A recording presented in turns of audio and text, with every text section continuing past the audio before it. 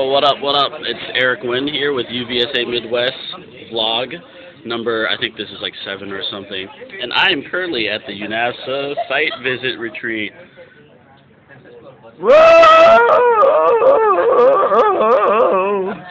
We're actually currently having lunch right now, and this weekend we all met together at the U of M campus to plan our conference. Uh, UNAVSA conference, that is, not VIA1, which is coming up March 19th weekend.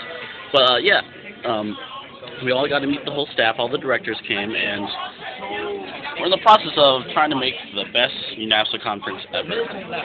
Um, hopefully, uh, you'll come out to that and VIA1. That's right there. That, see that right there? That's Brian Vo. That's the former UNAVSA president. Um, Dan somewhere is the, Dan over there in the yellow is the current UNAVSA president. If you guys didn't know, former UVSA Midwest president.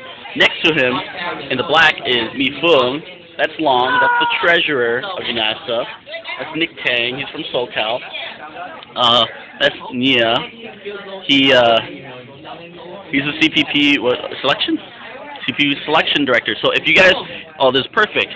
Uh, so if you guys have any nonprofits that are geared towards Vietnamese issues, definitely contact me, uh, and I can get you in touch with our our friend here, Nia Lei, from the Midwest. Also, he's wearing a Packer jersey today. Go Packers! Go Pack Go! Uh, and uh, he is in charge of finding the next upcoming CPP.